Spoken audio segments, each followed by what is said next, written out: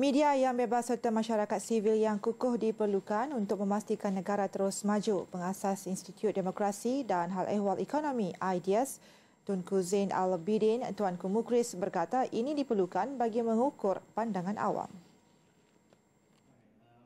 Tunku Zain turut menekankan kepentingan menjadikan perlembagaan negara sebagai teras panduan kepada orang ramai. Tambahnya, perlembagaan tidak patut disalah tafsir hanya untuk memenuhi kepentingan pihak tertentu.